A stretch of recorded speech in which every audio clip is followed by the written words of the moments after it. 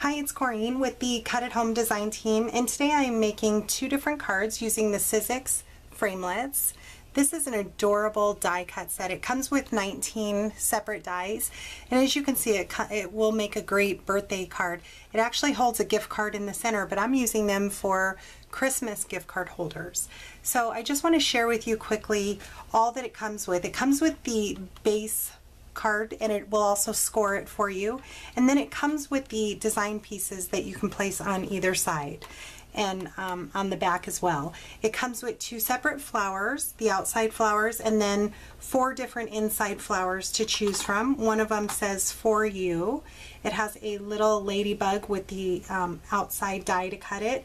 And then it comes with the flower stems and leaves. It also comes with a saying of you rock. And then here's the piece that will hold the gift card in place. So I will, like I said, be using this for Christmas cards. I will put this in fast play motion. I did make two cards and one of them I did not film, but you will see it on Cut at Home's blog. The link will be in the description box below, so check that out along with links for all the products used.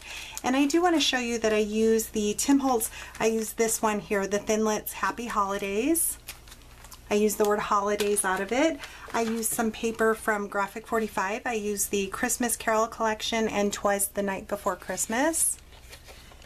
And I also used a tiny piece of this DCWV glitzy, glitzy glitter cardstock in silver.